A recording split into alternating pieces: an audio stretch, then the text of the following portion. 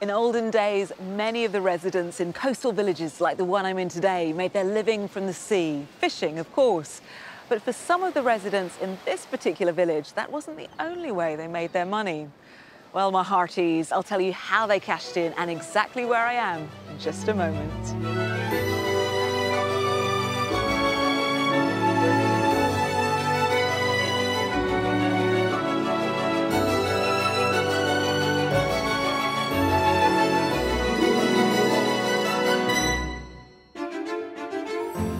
It's a brand new life chapter that's drawing today's house buyer to new territories and fulfill her dream of living in the English countryside.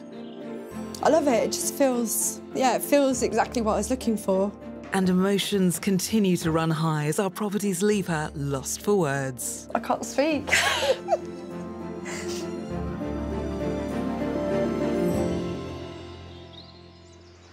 Today I'm on the Devon-Dorset border and right now I'm in the East Devon village of Beer, which in the 17th and early 18th century was infamous for smuggling.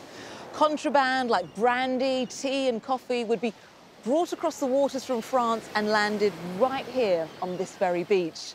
Now, the authorities soon got wise to this and started patrolling the area, but the locals, many of whom were party to the smuggling, would light warning beacons up on the cliff tops to let the smugglers know that they should sink their contraband and come back and collect it once the coast was clear. Tiny snapshot of history here on this Jurassic coastline, millions of years in the making. On the south coast of England, the counties of Devon and Dorset are united by this 95 mile stretch of Jurassic coastline. The pinnacle of this far reaching World Heritage Site is the majestic Golden Cap in Dorset. Over 190 metres tall, it's the highest point on the southern coast. Further west in neighbouring Devon, the ancient fishing village of Beer in historic Lyme Bay has more than a smuggling past to its name. Today, it's the archetypal seaside setting with a clean, colourful beach and pretty narrow streets lined with attractive buildings, many built of local flint. Moving inland, there's a stunning rural landscape in the Blackdown Hills area of outstanding natural beauty. Its green pastures are framed by thriving hedgerows and waterways, such as the River Otter, flowing through the pretty valleys. So, with its mix of lush countryside, rugged coastline, and picture perfect villages, this region is an ideal choice of escape for a peaceful country life.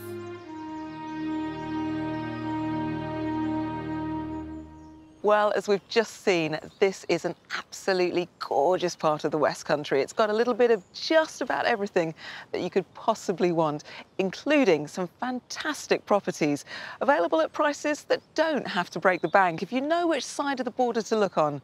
The average price of a, a detached home here in Devon is £364,000. Now, that is £30,000 above the national figure. But when you compare it to a similar home in neighbouring Dorset, available for £410,000, seems like a real bargain. A little bit of knowledge worth knowing if you happen to be today's buyer who's on the hunt for a property of her dreams. Funeral celebrant Debbie from Stoke Mandeville in Buckinghamshire is preparing for a big life change.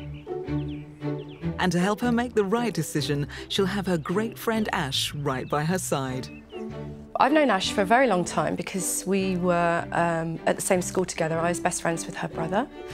Um, so we've known each other for a very long time, but about 16 years ago, um, we found ourselves back into the same crowd of friends. So we've been best friends since then. The pair have supported each other through life's ups and downs and have forged a close friendship. Debbie is um, bubbly, fantastic, pragmatic, adorable. She cares for everyone before herself. I love her honesty as a friend. Um, I love the way that she has dealt with things, things that have been thrown at her. Debbie's lived in her current five-bedroom house for the past 13 years but after suffering a personal tragedy, she's decided it's time to head to pastures new. It was always a plan for my husband and me to move um, once the kids left home. But sadly, um, I lost my husband two years ago. And Um, I'm ready now for a new challenge. Um, I've travelled quite a bit to sort of Devon area and from what I've seen of it, I really love it. I just want to be able to move on and do something new with my life and I know that Neil would definitely have appreciated that. Debbie's four children have flown the nest. Her eldest son Aidan lives in the West Country and her eldest daughter Sam may be joining her in due course. But to begin with, she'll be making the move south together with her trusty camper van. Well, I bought my motorhome um, six months after Neil died. I felt that I needed something that he wouldn't have done to help me move my life forward a bit. And because he was such a big chap, there was no way he was ever going to get a caravan or a motorhome. His feet would have stuck out the windows. Been to all along that Jurassic coast where I loved to do the fossil hunting. So that's how I know that that area is calm and beautiful and what's attracted me to it. When she's not on the road, Debbie has plenty of plans to fill her days at home. I really love to take my work with me, but I also would like to return to my craft roots, my sewing roots. I had a soft furnishing business before, but now I really enjoy making quilts and I'd like to extend that and to use to perhaps make money from that as well. Uh, I just don't seem to have time for any of those things at the minute and I'm desperate really to reclaim some of those back. She's also looking forward to visits from her family and friends. To be honest, there's no getting away from Deb. Wherever she'll be in the world, not this, you know, not just this country, wherever she'll be, uh, she'll organise something. She'll get us down there. Uh, we love our prosecco. Um, we love our chats, um, and we love the countryside. So, with her home already sold and Ashintover support, Debbie's all set to start her new journey. It's going to be really hard to go because obviously it's Neil's and my home, our first home and our only home together. But it's important for me to sort of leave that behind and start again. Um, I can't tell you how much I miss her. I don't want her to go, but I know that she needs to do this uh, to move on in her life. Absolutely. Debbie loves the areas close to where West Dorset meets East Devon, but she's happy to extend her search north to Somerset. Before we begin our house hunt in earnest, we're meeting up to discuss exactly what it is she's looking out for. Morning. Morning. Debbie Ash, welcome to the West Country. Debbie, this is a huge move for you at this point in your life. Yeah, it's a huge move. Exciting. And as part of the move, I understand your eldest daughter, Sam, she might be joining you at the property or, or, maybe coming to live nearby. Tell me about that. Yeah, Sam has Down syndrome, and unfortunately, she's been very ill over the last four years, It's about four or five years actually. But she's in residential care at the moment. So, although I wouldn't move her straight away with me, there would be a very slow transition. I would want her closer to me. And what would you love to see in your dream new home? A character cottage. I'd need to have a real fire, or the potential to put one in. I'd like a kitchen diner where I can put a sofa in. I want to get back into lots of walking, so a boot room where I can throw all the muck would be really lovely. um, South-facing garden would be brilliant, but not, not big. Just somewhere I can sit with a glass of Prosecco. with me. so how many bedrooms would you like to see in the property? A minimum of two bedrooms, or if there could be a third bedroom and a study, that would be fantastic. And Ash, you're going to be keeping an eye on that, that spare room situation because I'm sure you're coming to visit a lot. Well, I will choose my furnishings, that's for sure. so, Debbie, the isolation factor with the property, mm. you don't mind being on your own, as it no, were? No, not at all. I'm not. I'm not. I enjoy my own company. I love the company of others, but I, I, you know, quite like sort of being on the edge or out of it, so I can make my decision whether I want to be fully involved in all of that. And what's the budget for our search? Well, my maximum would be £340,000. A little bit less if it needs work doing to it. Ash, you ready to give us both some moral support? Oh, yes, let's go. Especially in this weather. Yeah. let's start. Debbie has a budget of £340,000 to buy her a character cottage with a large kitchen diner. She'd like at least two bedrooms, a sewing room, and outside, a small, manageable garden. location-wise, she'd be equally happy on the edge of a village or in a more isolated spot. We've handpicked a wonderful selection of properties for Debbie and Ash to view. And after they've completed their tour of each, they'll find out its price. The last stop to the mystery house will reveal a secret that could be the icing on the cake for Debbie.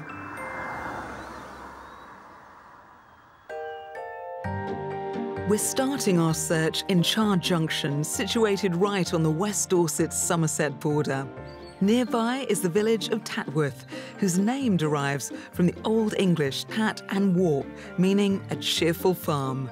There's a 15th century pub here and many attractive stone buildings, typical of the region. Our first property is just a mile down the road and sits on the Dorset Somerset border. Here we are. House number one. I like it. I like the shape of the windows. I love the shape of the windows. And I love the view. It's, yeah, looking promising. Oh, excited. Well, you wanted somewhere isolated where you've got that feeling of the great outdoors. Yeah. But you've still got three neighbours here. Feeling a bit emotional, actually. I, I can't wait to look inside. Okay, let's not waste any time. Let's get straight in there because if you love the outside, Yeah. I love the inside even more. Oh, I wow. think it's even more special. This charming semi-detached home is thought to be around 200 years old. Once a single-storey farm cottage, it's been extended several times. Come in through that lovely latch door there. In you come. This is the main living space. yep. yes. Love it. oh, Tell, tell me everything you're thinking. Are you okay, Debbie? Y- yeah. don't start. I love it. It just feels, yeah, it feels exactly what I was looking for. Uh, uh, Neil and I are very happy with uh, where we lived, but um, this feels more forever home. So this first room, pretty perfect. Yes. Yeah. We're about to step into the kitchen space. Shall we see what we've got for you? Please. Come on. The kitchen is just behind the sitting room. It was handmade locally, and the central island features decorative old church panels.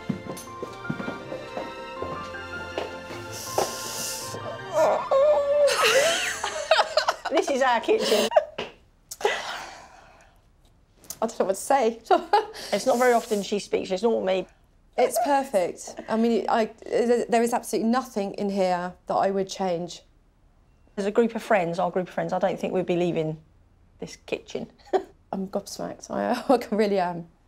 On the side of the kitchen here, just behind us, the garage has been converted. The current owner uses it as a sewing room. Wow. This so far uh, is is perfect. Really perfect. Should we see more? I don't want to bring you to no more tears. Well, you can. tears of happiness. Tears of happiness. They That's are. good. That's good. This cosy cottage is stirring emotions in all of us. It seems it's just what Debbie was hoping for. A beautiful handmade stairway leads up to the first floor, where there's a panelled family bathroom complete with a roll top bath.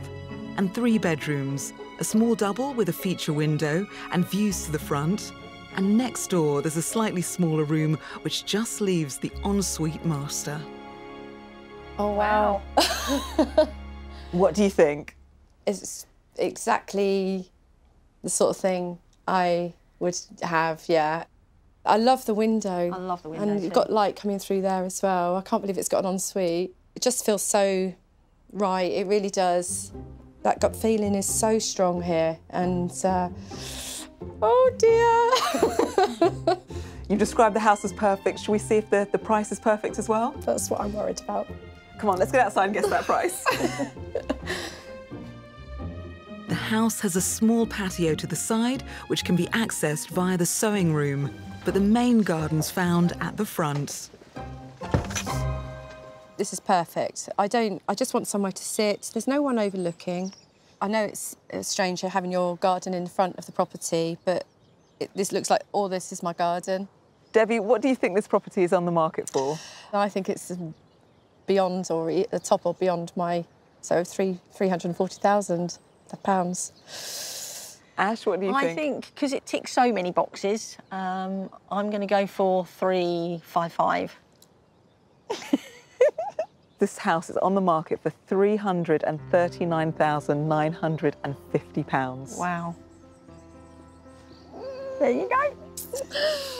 Well, now you know the price of this property. Why don't you have another look around and we'll catch up in a bit? Okay. Thank you.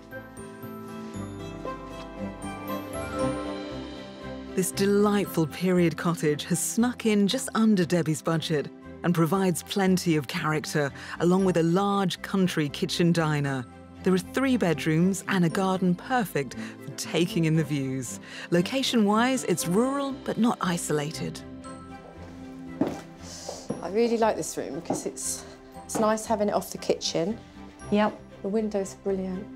I would perhaps put a wall up, stud wall up there and hide the washing machine and tumble dryer away. All my sewing stuff can go out there as well. I was very emotional coming in, especially downstairs and, and also in the master bedroom because everything that I'd visualised was here.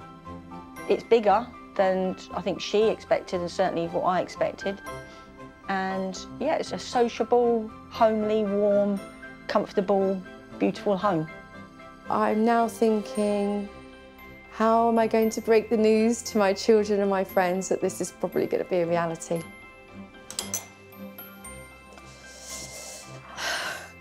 Still smiling. Yes.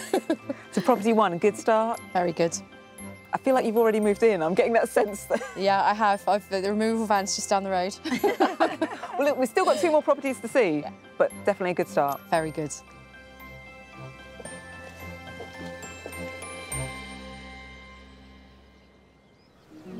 The extensive shoreline of the Dorset Devon coast has been a feature of the region for millions of years, and beachcombers may be lucky enough to stumble across the prehistoric fossils this area is famous for. But one local resident combs the shingle for treasure of a different kind.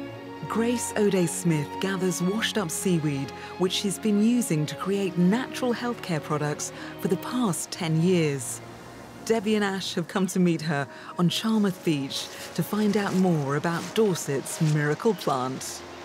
The Grace, is amazing, this wonderful site you've got here. Is this the reason why you came to Dorset? Indeed. I never regret it. I was so amazed how beautiful the place is. I couldn't believe it.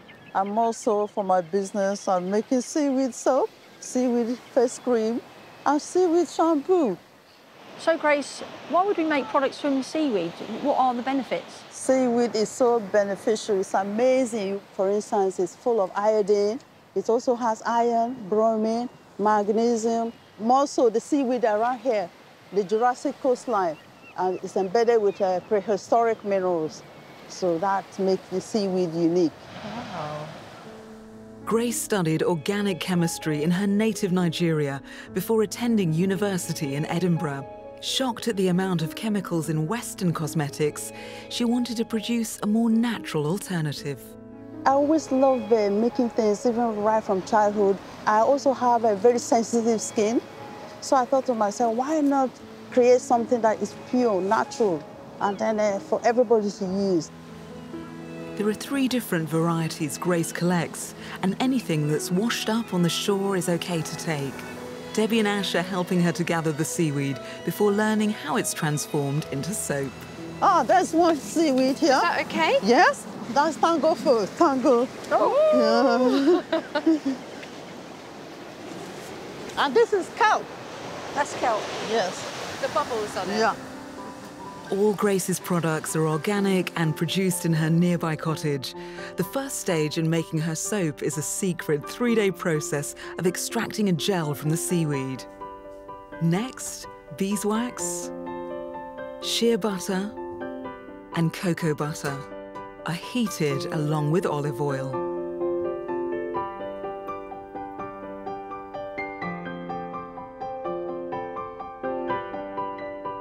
The seaweed gel is added to a mixture of water and caustic soda before both liquids are combined. This is where the magic begins. Do you have to keep stirring when it pours it Oh, in? yes, all the time. Is that so that all the ingredients mixed together? Yes. The soup, you can see it's beginning to thicken a bit now. Is, is that why you're pouring it slowly? Yeah. Because it thickens? Yeah. When the mixture has thickened, it's poured into a mould and left to set for 24 hours. The soap then matures for around six weeks. There. That's our seaweed soap. I can't believe we're picking seaweed and we've now got these wonderful bars. So can we use these now? I'm afraid it's not quite ready yet. It needs to rest for another four weeks. Oh, okay. Will that make the smell more intense? Oh, very intensive and also creamy, long lasting. When you touch it now, you can use feels the- really creamy. Yeah, and it's going to be long lasting. Thank you so much for showing us. It's been so interesting. You might even see me pinching a bit of your seaweed when I move down Oh, here. How nice. Thank you so I much. I look forward to seeing you and all the best of luck for your house hunting. Thank you. Now it's time to return to our house hunt and see if we can find Debbie her dream home.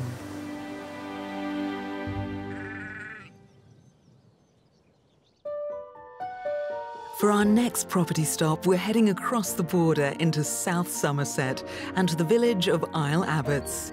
There's a village hall here and the 13th century church of St Mary the Virgin, with its intricate carvings and impressive 16th century tower. The narrow country lanes are flanked with stone houses, some topped with thatch, which are typical of a Somerset country village. Just on the outskirts, in a peaceful setting, we're arriving at our next offering. So here we are, property number two, or should I say cottage number two? All of it. All of it. What do you think? Yeah, huge. It was originally two cottages, but they combined them in the 70s into one. But the original part of the building dates back over 250 years. So you wanted character. Yeah. This has loads of it. Shall we head in? Yeah. Okay, come on. This detached double fronted cottage is steeped in history. There are records showing it exchanged hands for five shillings way back in 1761. in you come. During its life, it's been both a shop and a post office. Wow. Open fire. You can sense that this is a really old part because it's almost wobbly. You know, it's yeah, it's got a nice feeling. I wouldn't use it as a dining room because I don't need one. I feel like I don't need one, but I haven't seen anywhere else yet. This would be your snug if. if I don't know. be. I suppose so. There are two big living spaces downstairs. Actually, the second one is bigger than this. Okay. Behind the dining room lies a compact kitchen. It may not be the entertaining space Debbie's after, but hopefully the large sitting room and adjoining conservatory will make up for it. Uh, it's such a nice room. It's a good size. Keep the wood burner, open that up into an open fire. What would you? I know people who are going to be shocked, but I'd probably take the wood burner out and put a proper fire in. I'd quite like to see all the shh.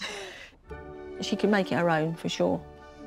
Great. Well, that's downstairs. Shall we have a look upstairs? Yeah. Yes. On the first floor, leading off from a bright central landing, are three bedrooms, all serviced by a neutral tiled family bathroom. There's a double bedroom with striking inlaid beams, a smaller one next door with dual aspect windows, and running from the front to the back of the house is the master. It's very sweet. Yeah, I like it. yeah, I like it. Yeah, it's um, it's big. Lots of character. Yeah, I like it. Even though we're in a, a cottage that's over 250 years old, you've still Yeah. got that kind of space that you were craving. Well, there's a lovely garden to look at and some outbuildings as well. Oh, right. So let's take a look at those and then let's guess the price on this one. Okay.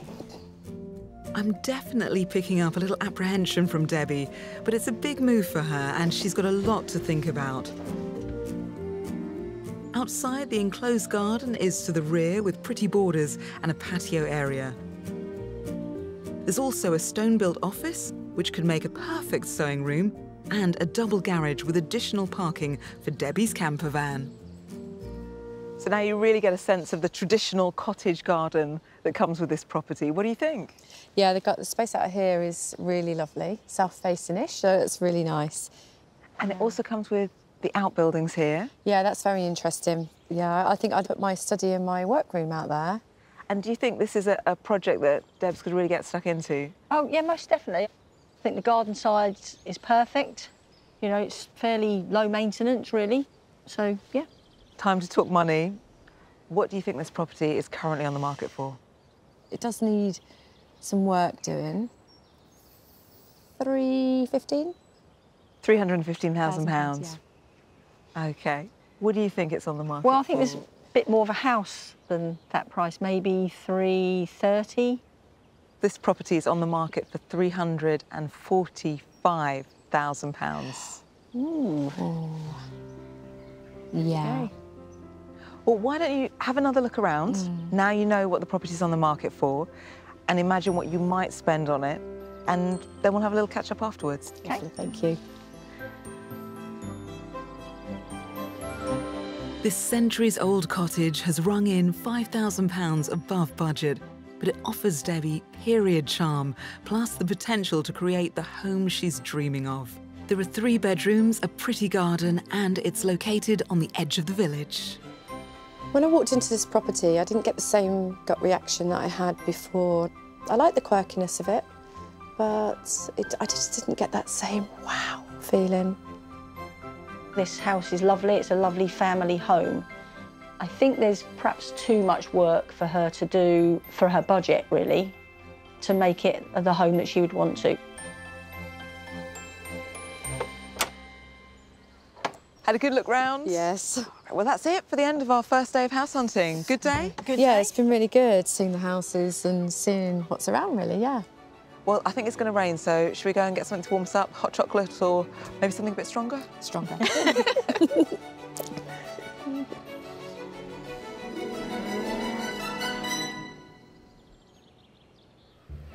It's day two of our trip around the Dorset Devon borders, searching for a rural retreat for Debbie from Stoke Mandeville in Buckinghamshire to call home.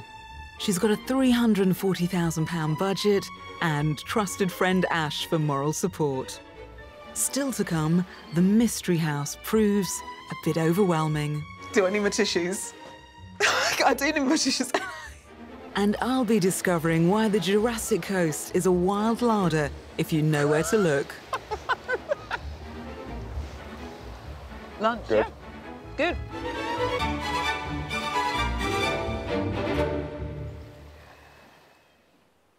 Well, what a fantastic first day in our property search. Finding house number one, which Debbie described as perfect. So perfect, in fact, that it brought her and her supportive best friend Ash to tears. Where does that leave us today? Well, it leaves us with a mystery house. I think we found a property that's not only fabulous, but will give Debbie the chance to continue her adventures in Butch, her camper van, in peace of mind. Oh, and, well, after two fabulous counties, why stop there when you could have three?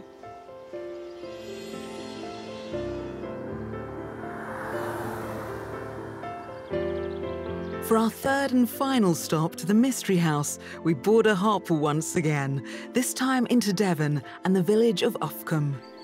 Situated in the Blackdown Hills area of outstanding natural beauty, there's a good range of amenities here, and the village is also home to one of the oldest woolen mills in the UK, which has been in operation for 220 years. Nearby and within the grounds of a historic estate, we find our mystery house.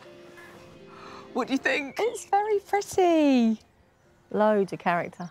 There is a lot to take in in this community, which was built for the local vicar in 1864, this lovely private estate. And then in the 50s, it was converted into the houses that you can see at the moment. But each one had a previous life. There's the granary, the engineer's shop. It was kind of a model farm.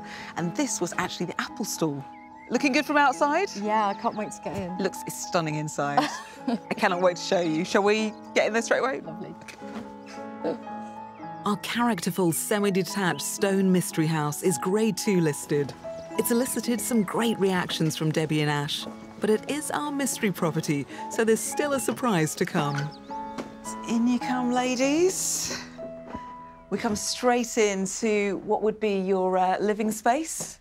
It's lovely in here. It's smaller than what we've seen, but uh, it's got such a lovely feel. Off this beautiful space, Debbie, is a workroom. It's the most beautiful, light and airy space, and I could just imagine you sitting there with your sewing machine, quilting away. Ash, you're smiling as well. I am because it's just so Deb. Really, it is smaller than we've seen, but uh, I like the coziness of it. Um, I love the decor. It's, I can see Deb's furnishings in here. Well, I have a bigger room to show you, and it's the one that I think, if I was living here, and I can imagine you and your group of friends spending most of your time in. Okay. And that is the most fabulous kitchen, which is just next door. Come this way.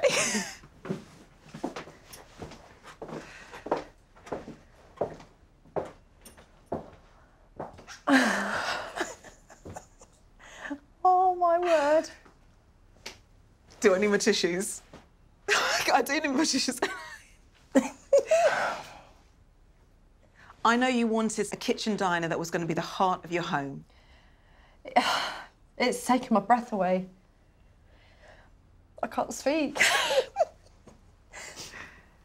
it's so yummy. Yummy's a good oh. word. I can hear lots of laughter in this room. I can, yeah. I didn't think you'd top the first house at all. I agree. Moving upstairs, all the rooms are situated off a long, bright landing. There's a family bathroom with skylight and three bedrooms in the eaves. The smallest is at the back. There's a double at the front, benefiting from two windows. And I'm taking Debbie and Ash to the master with its own ensuite shower room. Oh, it's so pretty. And light. Yeah. So light. Are you feeling at home here? Yeah, I am. Do you know this house is a very girly house? It's a warm house, isn't it? It's warm very and warm. light. Sitting out the front with those pots and things, it's more than enough for me. Just want somewhere to sit. Well, I'm glad that's enough because it doesn't come with a, a back garden on this particular property, but it does come with a, a bit of a secret garden. Ooh. After practically receiving a standing ovation for the inside of this gorgeous cottage, I can finally reveal the reason why it's the mystery house. We're passing through the pretty walled cottage garden at the front and heading just down the lane, past the property's garage, ideal for the camper van, to this, a hidden gem, a lawn garden with mature trees, a vegetable patch, greenhouse, shed, and pond.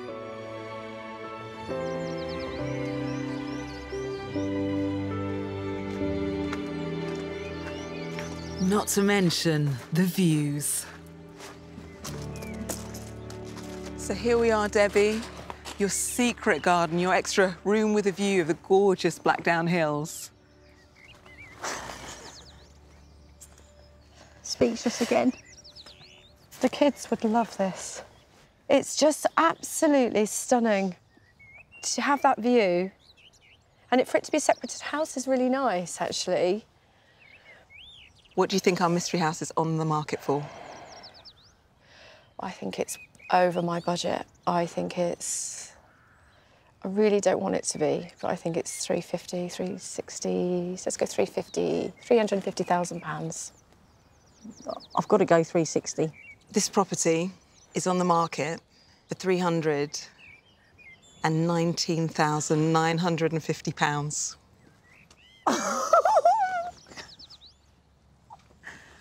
Oh my word.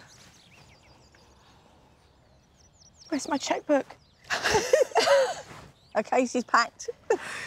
Oh, I can't believe that. Why don't you, with that in mind, go and have another explore of the house, and then we've got so much to catch up on later. Thank you. All right.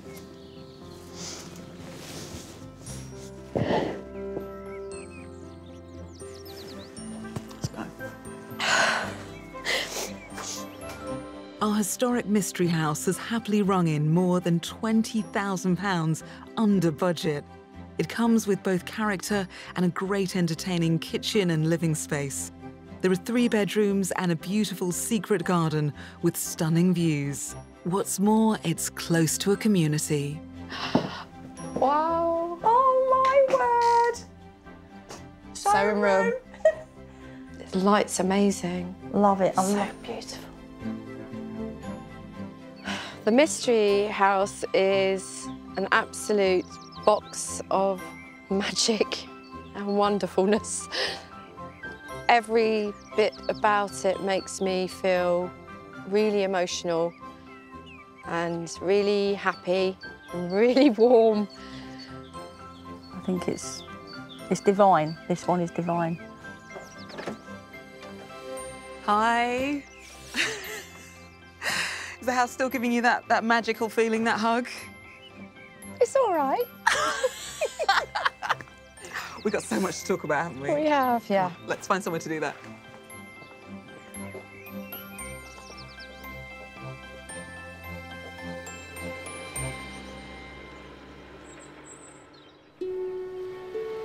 There's many an adventure to be had on the stunning Jurassic coast, and I'm always up for an escapade.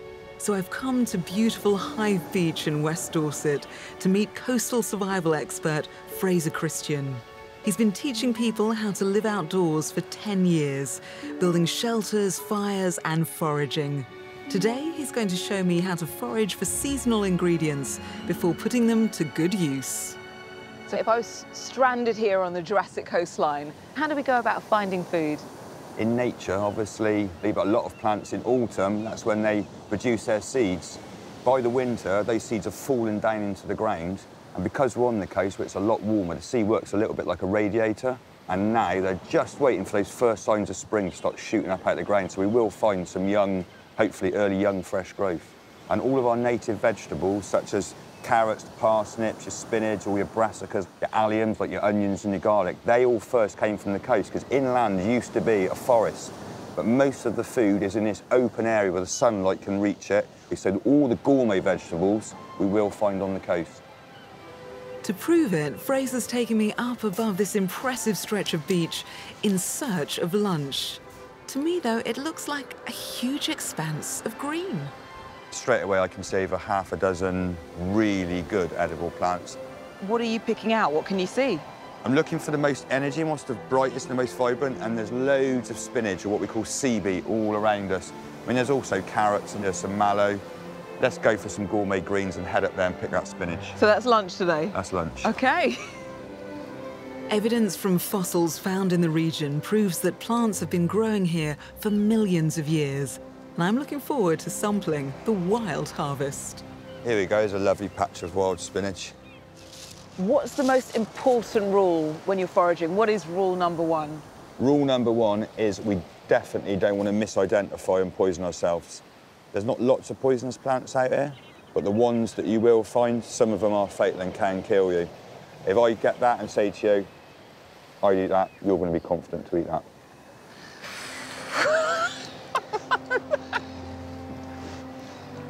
Lunch, Good. yeah?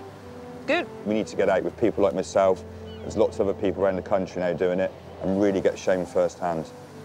After falling in love with cooking in the woods as a Boy Scout, Fraser started his working life as a professionally trained chef before turning his hand to survival skills and getting back to nature. Today, he's combining his talents and his lunch. Now, this really is what you call al fresco dining. Fraser, this looks great. Picked a bit of wild garlic on the way this morning as well, so should we get cooking? Let's get cooking. Show me what we need to do. On the wild food menu today is vegetable risotto. And you know, we were talking about identification and the various rules and stuff. Well, one of our best senses that we can trust 100% is the sense of smell. So a really good way to be able to remember stuff. So if you just give the wild garlic a little squeeze and a crush, close your eyes. and- Oh, wow. So straight away. That's delicious. So even if you came across two leaves that looked like that again, and you picked one up and it didn't smell of wild garlic, you'll never forget that smell, will you? Wild garlic grows in woodland during the spring and is a relative of the chive. Today, Fraser's using it for extra flavour instead of onion. So we're just gonna quickly chop this up. Oh, wow. The You smell it already coming through. just gorgeous, yeah. Next, chili and olive oil are added and heated before the rice goes in with a glass of local wine. And now for our rich pickings. I'll chuck the spinach in. If I give you that bowl, would you like to pick a few of the gold flowers for the garnish at the end? Yeah, sure. That smells so good. Right, I reckon that's just about ready. Okay, I'm excited for lunch. My freshly picked gorse flowers add flavour, colour, and are a source of protein. Thank you. Okay, here we go. That is gorgeous. You don't have to be that specialist chef when you're working with the finest ingredients in the world. Fraser, I think if I was ever stranded on the Jurassic coast here, now I might just make it, I might just survive. But we always say, we don't just survive, we thrive on the coast. Well, we're thriving today. Cheers. Cheers.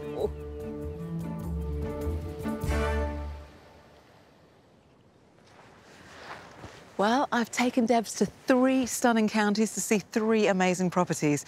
Two very strong contenders, and I have a feeling there's one outright winner. But what's going to happen next?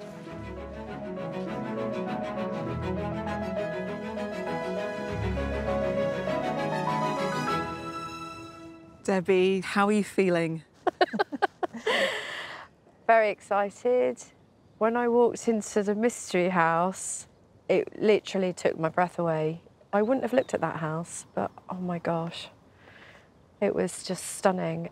But best of all, it felt so secure for Sam.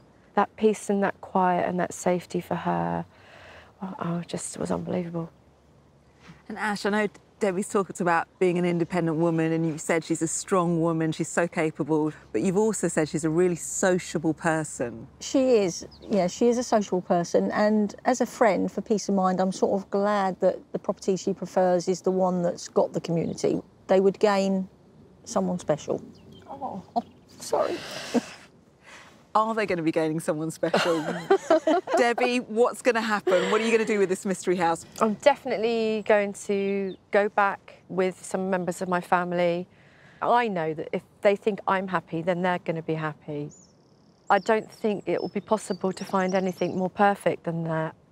So I'm going to be making a call very soon to the estate agents.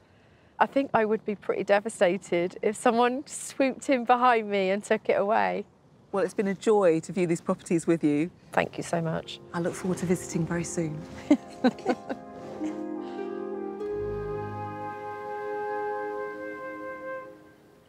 Well, when it comes to escaping to the country, it really doesn't get much better than the last couple of days.